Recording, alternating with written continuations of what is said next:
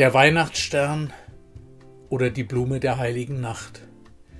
Der Weihnachtsstern ist ein unübersehbarer und leuchtender Botschafter in der Advents- und Weihnachtszeit. Er gehört zu den beliebtesten Topfpflanzen in den USA und Europa. Allein in Europa werden jährlich gut 100 Millionen Sterne verkauft. In seiner Heimat Mexiko werden jedes Jahr mehrere Millionen dieser Pflanzen gezüchtet von denen die meisten entweder für den heimischen Markt bestimmt sind oder in den Export nach Amerika gehen.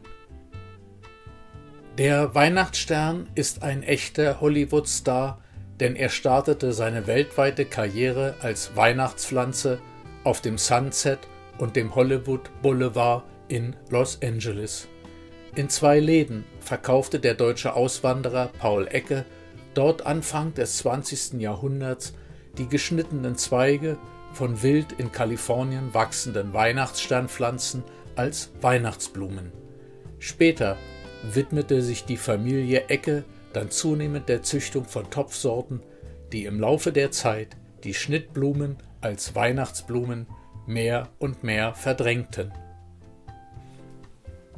Botanisch gehört der Weihnachtsstern zu den Wolfsmilchgewächsen und in freier Wildbahn erreicht die Wildform dieser Zimmerpflanze eine Größe von bis zu vier Metern. Diese Pflanze liebt wärmere Temperaturen und ist in Mittel- und Südamerika zu Hause. Die Azteken, die zwischen dem 14. und dem 16. Jahrhundert im heutigen Mexiko lebten, verehrten diese Pflanze. Sie schmückten ihren Tempel damit und sie diente ihnen als Färbemittel und Heilpflanze. Vom Aztekenherrscher Montezuma wird berichtet, dass es seine Lieblingsblume war.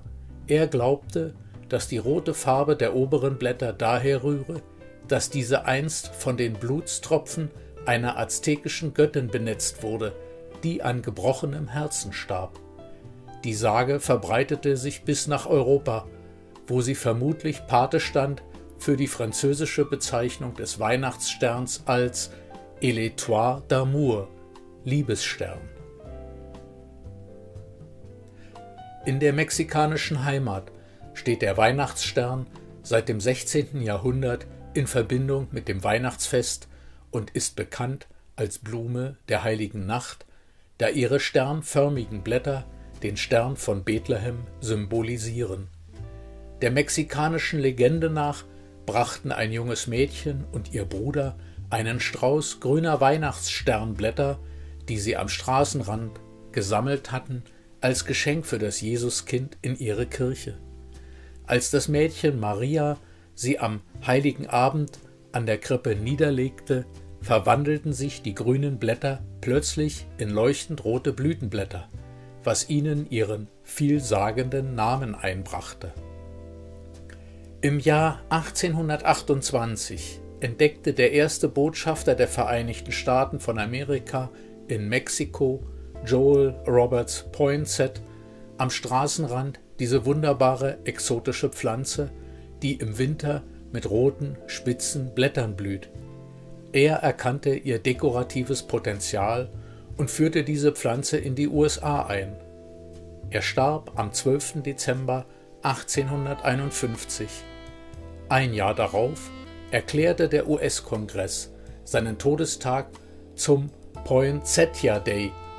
In den USA wird der Tag des Weihnachtssterns seit mehr als 160 Jahren gepflegt.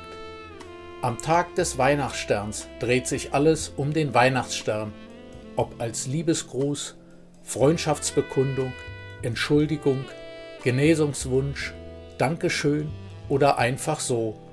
Es gibt viele Gründe, liebe Menschen speziell an diesem Tag mit einem Sternengruß zu überraschen. Den klassischen Weihnachtsstern mit seinen roten Blättern kennt fast jeder, aber die Pflanze hat noch viel mehr zu bieten. Sie gibt es in verschiedenen Varianten, in unterschiedlichsten Farben, Formen und Größen. Es gibt die Euphorbia pulcherima nicht nur mit roten, sondern auch mit weißen, cremefarbenen, rosa, gelben, lachs- oder aprikotfarbenen Blättern. Auch unterschiedliche Muster sind erhältlich. So gibt es etwa zweifarbige, gesprenkelte bzw. panaschierte Weihnachtssternvarianten, also solche, bei denen weiße Flecken vorhanden sind, was den Blättern ein ganz eigenes Aussehen gibt.